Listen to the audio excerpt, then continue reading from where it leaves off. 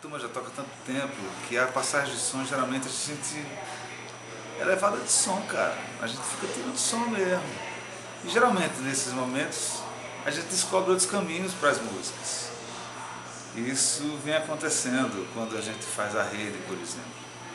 A rede, a base da rede, nos permite exercitar vários tipos de canções que a gente adequa à levada da rede. Né?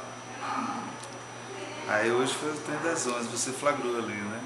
Quem sabe hoje a gente não leva aí hoje à noite.